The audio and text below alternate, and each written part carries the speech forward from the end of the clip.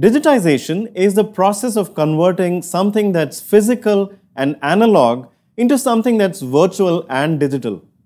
Think about how in the last decade, everything from movies to books to music to business processes to even money has been made available in the digital format.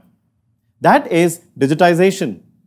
However, digitalization is a new way of doing things by leveraging technology to create exceptional customer experience, become agile from a process standpoint, and unlock new value by leveraging the power of data. In a nutshell, digitalization has more to do with business models than technology.